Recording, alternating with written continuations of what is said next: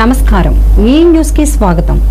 అనంతపురం జిల్లా కళ్యాణదుర్గ పట్టణ కేంద్రంలో స్థానిక టీ సర్కిల్ వద్ద ప్రజా సంస్థల ఐక్య వేదిక ఆధ్వర్యంలో ప్లకార్డులు నిరసన కార్యక్రమం జరిగింది. ఈ కార్యక్రమానికి ఉద్దేశించి ప్రజా సంఘాల యువకులు సిఐటియు జిల్లా కోశాధికారి బిహెచ్ రాయుడు అంగన్వాడీ జిల్లా అధ్యక్షురాలు శకుంతల మాట్లాడుతూ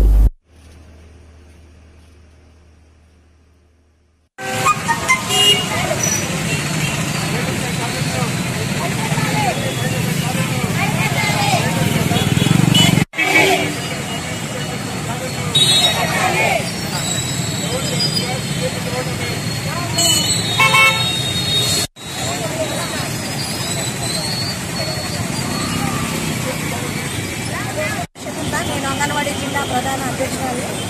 ఇక్కడ ఇప్పుడు ఈ మనిషి జరిగి దాదాపు నెల గంటలో ఉంది కానీ ఇదివరకు ఆ నిందితుల్ని చట్టపరంగా శిక్షించలేదు కానీ ఆ అమ్మాయి ఒక అమ్మాయిని ఇంత దారుణంగా హింసించి వాళ్ళు చేసి కానీ ఇప్పుడున్న ప్రభుత్వం నాటికి నాయకులు అక్కడ ఏం చెప్తున్నారు అమ్మాయి అక్కడ ఎందుకు వెళ్ళాలా ఎందుకు రమ్మని చెప్పింది?